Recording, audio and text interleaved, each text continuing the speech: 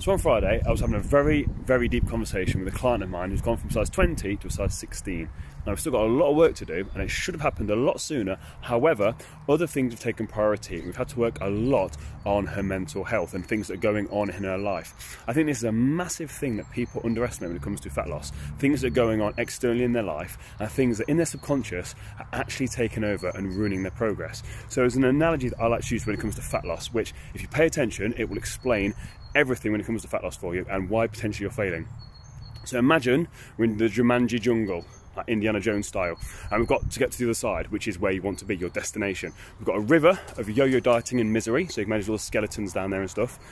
So we're going to build a bridge. So first of all, you need the planks of wood. So these planks of wood to build the bridge are things like your nutrition plan, your training program, potential supplements, rest and recovery, support network. All these things are the planks of wood that build the bridge.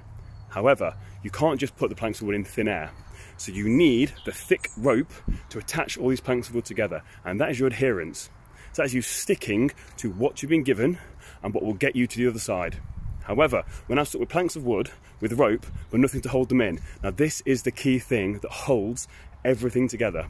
The big wooden pillars that hold the rope and the planks of wood together is your mentality. If you don't have your mentality right, you will always fail time and time again because your bridge will come unstuck. So you can be sticking to everything perfectly, but if your mentality is not right, if you have limiting beliefs, or things that are going on in your life, for example, underlying issues with family that cause emotional triggers, if you don't address these on your fat loss journey, you will fail time and time again.